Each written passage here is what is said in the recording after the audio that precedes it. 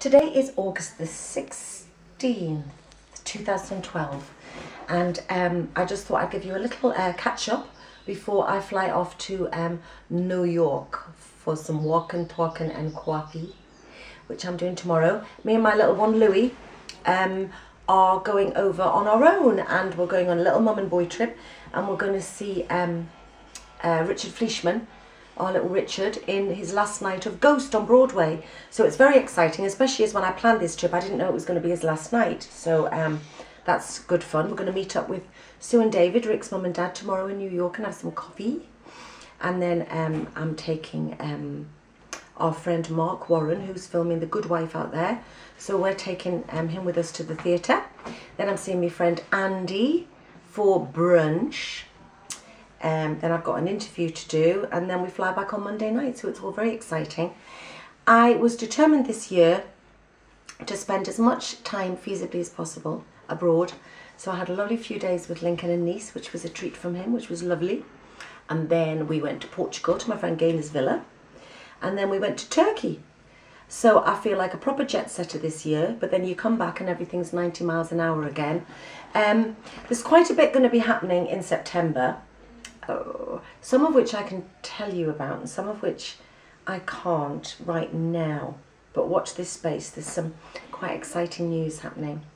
Um, I'm going to be doing Piers Morgan's life stories, which I record on the 11th of September, so I'm quite excited but nervous about that.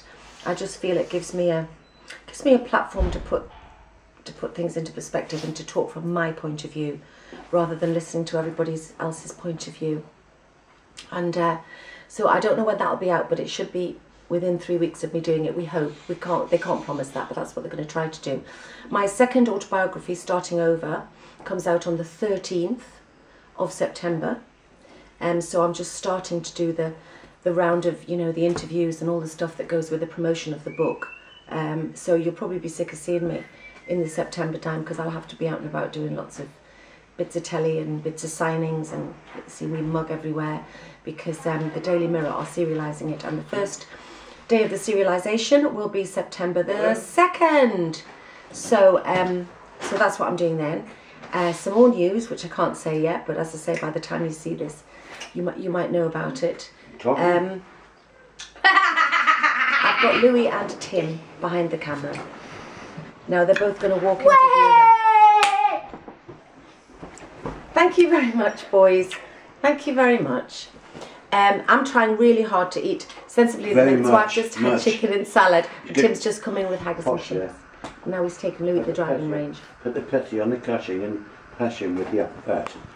That was Tim's impression of me doing a posh accent, which he says I'm doing because I'm talking to all of you guys. Just all bugger off, thank you very much.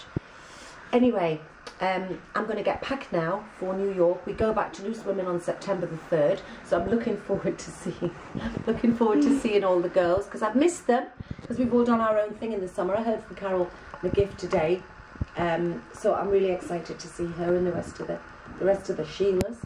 Um, and uh, anyway, tomorrow morning I'm off with this horror comic. Make you wish you were going on a plane with this one. Ow. So um, so I'll take lots of pics in New York and um, and hope that uh, yeah, hope that you all I don't know, hope that you all watch this. Peace out. I'll get some updated pics for you soon as well. I've just been so busy, but um, thanks for thanks for watching, and um, I'll see you all very soon.